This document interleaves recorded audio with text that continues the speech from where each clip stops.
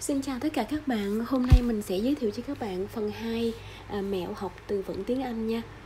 Ngày hôm qua mình đã chỉ các bạn phần 1, hôm nay phần 2 Một từ tiếng Anh đó, à, nó có thể có nhiều nghĩa thì ở đây chỉ chọn ra một cái nghĩa trong cái bài thơ này thôi nhé.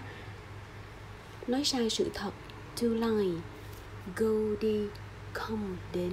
Một vài là some Đứng stand, look ngó Lie nằm, five năm four, bốn, hold, cầm, play, chơi. One life là một cuộc đời. Happy, sung sướng. Laugh, cười, cry, kêu khóc. Lover, tạm dịch người yêu. Charming, duyên dáng. Mỹ miều, graceful. Mặt trăng là chữ the moon. World là thế giới. Sớm, soon, lake, hồ. Dao, knife, spoon, muỗng, cuốc, hoe đêm night dark tối khổng lồ giant. Fun à mình xin lỗi các bạn nha mình đánh nhanh quá nên nó, nó dính cái chữ đờ vào đây. Từ, từ fun không có đờ đằng sau nhé phân vui die chết near gần. Sorry xin lỗi. Dull đần. Wise khôn ngoan.